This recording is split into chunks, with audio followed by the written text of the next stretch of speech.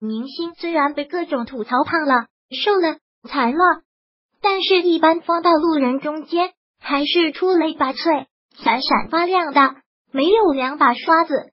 还真不好在娱乐圈中混。路人和明星同框，差点没认出赵丽颖。网友杨颖在哪里？下面我们就一同来看看迪丽热巴。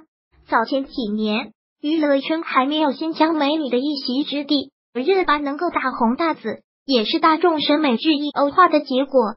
热巴和路人合照，心机的低下头来。就脸蛋的精致度而言，热巴也是完胜旁边的路人美女。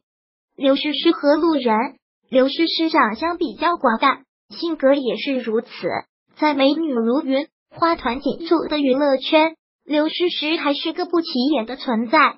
但是，当刘诗诗的路人合照时，不管是气质还是长相，都是分外养眼的。赵丽颖和路人，赵丽颖和商场工作人员合影，英宝的手亲切的搭在姑娘肩膀上，看上去颇为亲和。但是，也许是赵丽颖妆容比较简单的缘故，第一眼差点没有认出来这是赵丽颖。关晓彤身高一百七十三的关晓彤，一双大长腿真不是盖的，站在那里就像一枚精致的花瓶。旁边的路人也就是普通人，但是在关晓彤的对比下，小粗腿暴露无遗，还秒定小矮人，心疼路人一秒钟。杨颖。